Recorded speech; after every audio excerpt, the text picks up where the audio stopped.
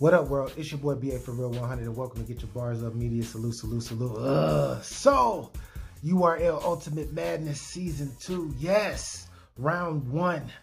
Uh, next battle up will be Tink Da Demon versus Franchise. Now, this battle, this battle was actually very dope, y'all. I liked it. I liked it. Uh, the first round, if I had to give it to somebody, I would give it to Franchise. I think Franchise won that round clearly. Franchise came in steaming, where Tink was uh, was trying to cook. He's trying to he's trying to warm up. Definitely trying to warm up.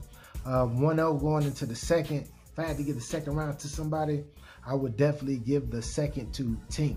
I think Tink had a little, he, he had more. The way that Tink was talking to franchise, saying you the, who you shake hands with, niggas, who style you take and put it into. I was talking. I like that type of talk. I like that type of talk. Even if it ain't, even if it ain't real, that sounded amazing the way he he constructed it. But I got it. Uh, yeah, I would give Tink that second round. The third, the third is a toss up to me a lot of people are probably going to say Tink won this clearly and this, that, this, that. But um, I think this round was very, very close. It's going to be based off of preference. Most will probably go with Tink, and that's who I would probably go with. I would go with Tink. I think Tink just had a little bit more, especially how he broke franchise down in that second. That took away from Fran. That really affected franchise's third because franchise's third was dope. If Tink didn't break down franchise in that second like he did, like he did, I think franchise third would have been more impactful. But it wasn't due to Tink just saying like, nigga, you ain't real. Like, stop, like, stop playing. Like, you ain't real. You faking. Crazy, right? But anyways, I got to get to this next battle. I got it Tink 2-1.